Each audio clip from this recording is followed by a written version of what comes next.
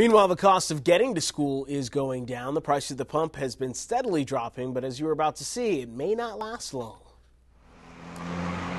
You know it's bad when you could look at gas for $3.39 a gallon and think, wow, that's cheap. I don't think gas prices going um, going down to me. I don't know. They they increasing. So even even 339, it's That's still high. As the stock market tumbles and the country still tries to get its arms around the S&P downgrade, you may not have noticed, but the price of oil has dropped about $10 a barrel.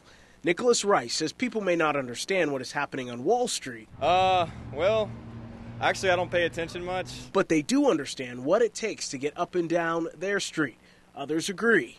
everybody drives a car, everybody's got somewhere to go, and gas is kind of a requirement. So for it to, I mean, I remember when I was little and it was like a dollar. It's here, Paige LeDuc says people judge the health of the economy. Her thoughts on the price of a gallon? As soon as you throw some gas prices down, we all get it. She says things aren't good. But since these prices have been around for so long, any bit of relief can be seen as a good thing.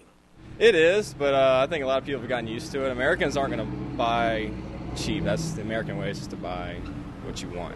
Don't get what you used to for five dollars. That's fine. Meaning it is just another part of the economy that people have learned to simply deal with. And the lower prices may be short lived. This afternoon, we noticed oil prices are climbing ahead of a key government report on the nation's crude oil and gasoline supply.